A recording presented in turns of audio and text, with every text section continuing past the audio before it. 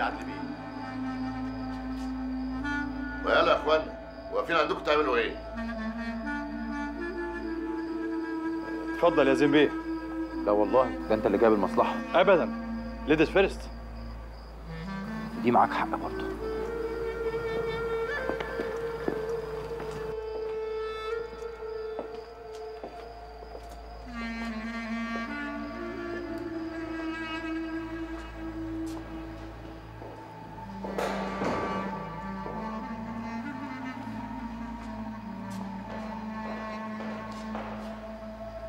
اتفضل يا عدلي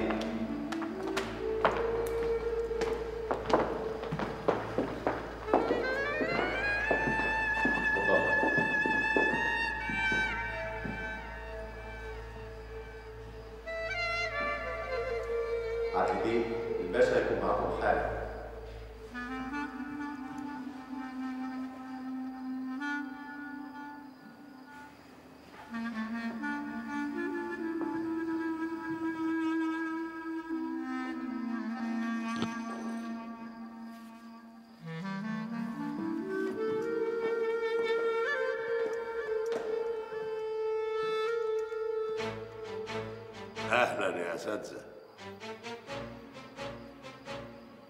إزيك يا حربي إزيك يا نعيم بيه؟ باشا. لما تكلم سعادته تقول له يا نعيم باشا. عدلي مفيش داعي للحاجات دي خالص. حربي ده معرفة قديمة يعني مفيش بينا ألقاب. مش كده يا حربي؟ اللي تشوفه يا باشا. انت بقى. أيوه انت. الري اللي فوق راسه نقطة. صح؟ صح. واضح من شكلك يا زين انك زي ما قالوا لي عليك بالظبط. عصبي وعنيد ومعتز بنفسك ودماغك ناشفة. بس أنا اعصب واعنت وأكثر اعتزازا وانشف مش كده ولا إيه يا عدلي؟ تحبوا نقعد هنا؟ ولا نقعد بره في الجنينة في الهواء أحسن؟ يبقى نقعد بره أصل أنا بيني وبينكم بتخنق من القعدة بين الأربع حيطان. روشا. أيوه يا باشا. خليهم يجهزوا لنا الحاجة ويطلعوها لنا على بره اوامرك يا باشا. يلا بسرعة. اتفضلوا يا اساتذه ها، إيه رايكم يا جماعة في القعدة هنا؟ تمام يا باشا تمام. مش كده أحسن؟ أنا ما بحبش أقعد جوه جوه خنقة. يا عدلي؟ آه خانة يا باشا. يا خانة بعقل يا باشا.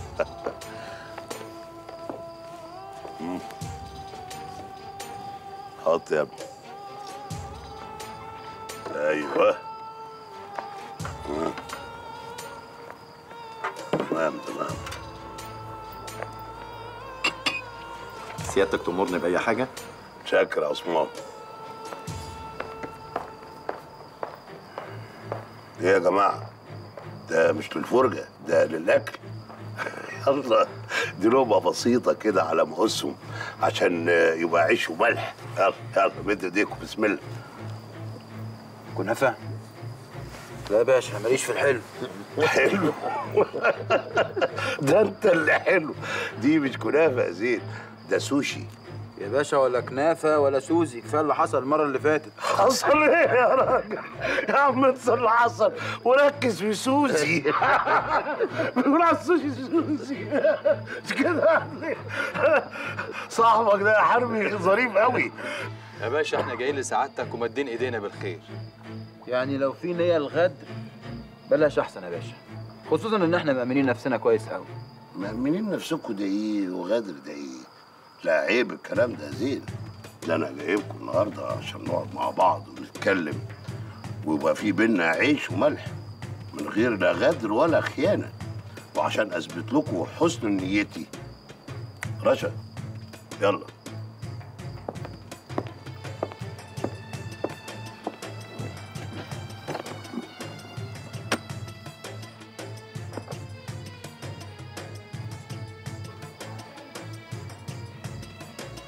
ده المبلغ اللي إحنا اتفقنا عليه. وفي شوية كمان عشان تجيبوا عربية بدل اللي اتحرقت. مش كفاية يا باشا. كفاية ده إيه يا حبيبي مش إحنا اتفقنا ان أنتوا هتاخدوا نصيب رشوان؟ ما هو ده فعلا نصيب رشوان. وفي شوية كمان. يا باشا أنا ما بتكلمش عن الفلوس. فلوس إيه وبتاع إيه؟ أنا بتكلم يا باشا على الغدر اللي حصل وأرواحنا اللي كانت هتروح في أبو نكلة.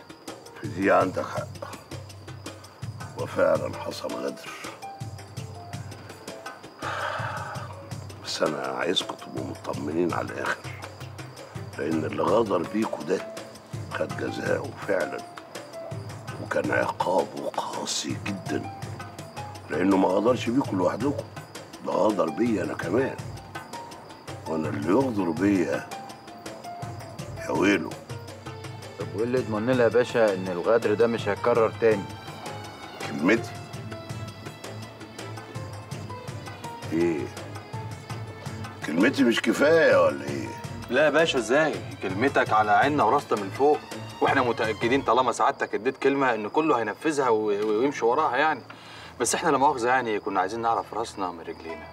نعرف نظامنا هيبقى مع سعادتك إزاي في الفترة اللي جاية؟ ده كلام عملي وأنا طول عمري أحب الكلام العملي. بس مش ناكل الأول؟ بعد كده نقعد براحتنا نتكلم ونظبط أمورنا. ولا إيه؟ ماشي يا؟ باشا.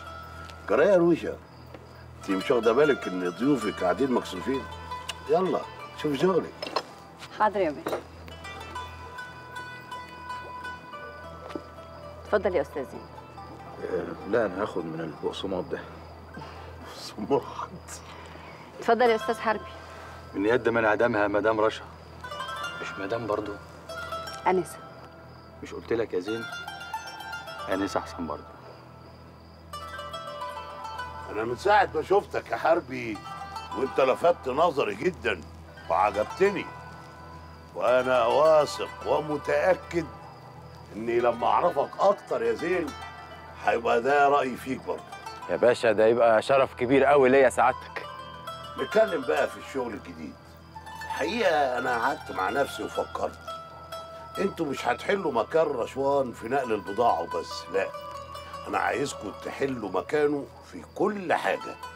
يعني المسابك مثلا. أنتوا اللي هتمسكوا المسابك من بعده.